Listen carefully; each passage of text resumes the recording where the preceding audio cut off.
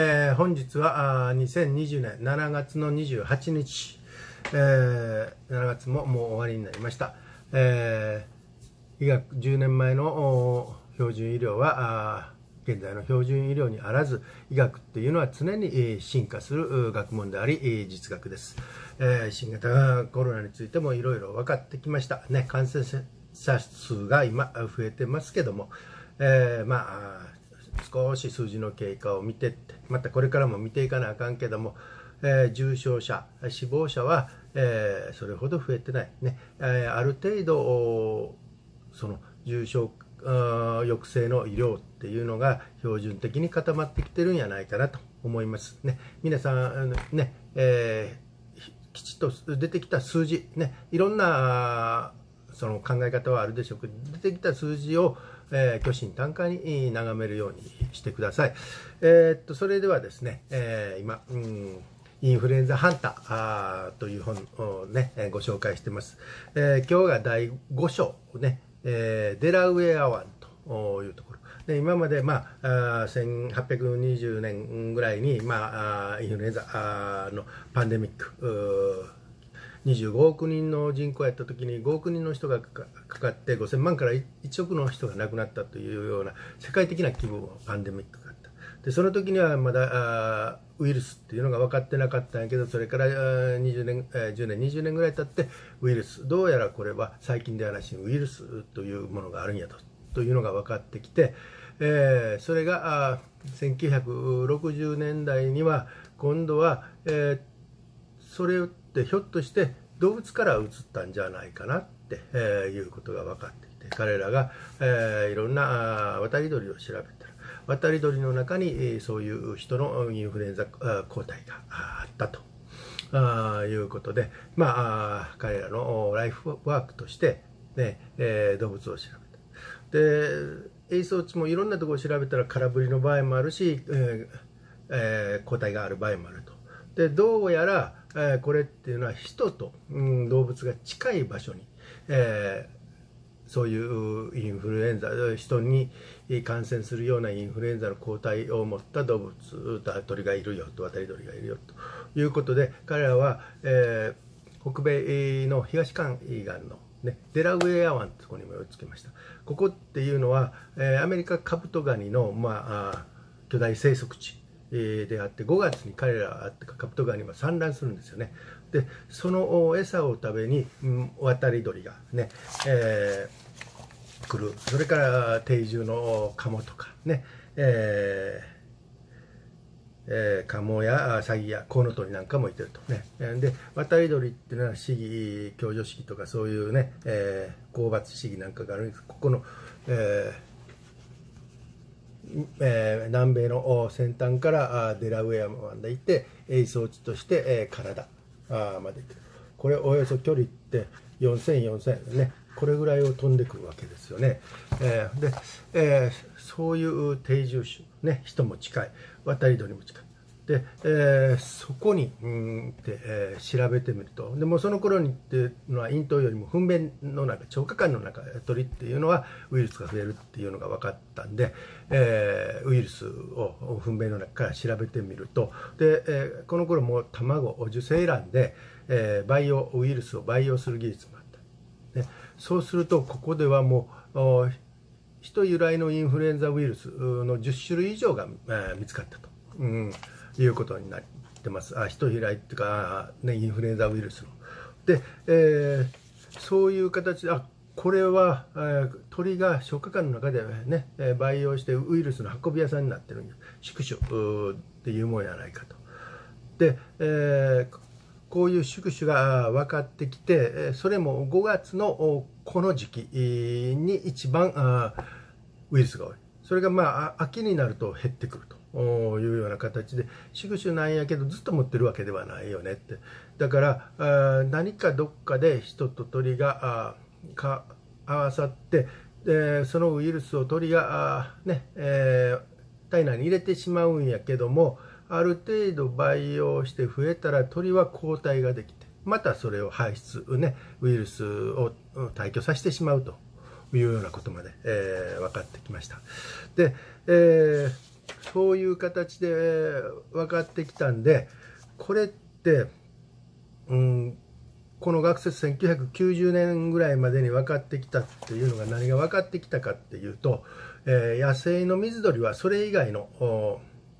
動物種から分離されたほぼ全てのインフルエンザウイルスの本来の自然宿主である。最近この2つの HA、えー、アケイのインフルエンザウイルスがコウモリでも見つかった。こうこれらウイルスの宿主を同定するための研究を進める必要があるね、えー、鳥もあるけどもコウモリでもあるよ、ねえー、それもやっぱり禁煙ね人と近いところで見つかるよということで。で鳥インフルエンザウイルスは主に水鳥の腸下管で、え、増殖し糞便中に排出される。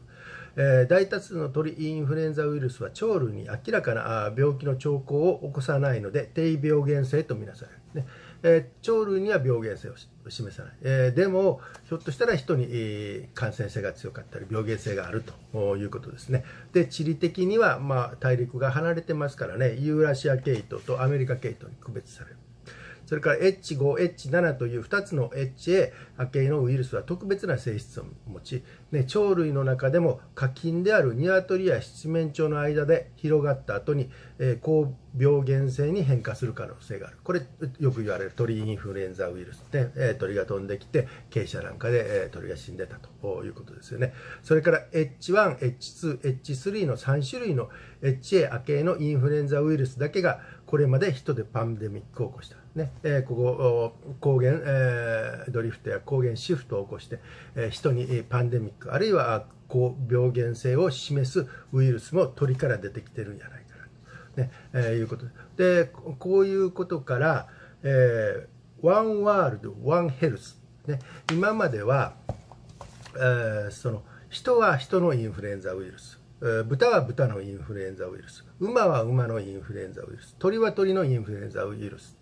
えー、宿主が決まってて宿主の中で循環してたんやろということになってたんですけどもひょっとしてその人畜共通感染症ね、えー、それもある種には病原性は示さないんやけども別の種に移った時に、えー、感染性が高くなる。あるいは病原性が高くなるようなもの、ね。えー、だから一つの、ね、世界の中では、えー、健康っていうのは鳥動物全部調べてみないと。ね、そしてそこで、えー、何が、えー、ね、パンデミックを起こすかっていうのは地道な研究が、えー、必要やと、ね。えー、だから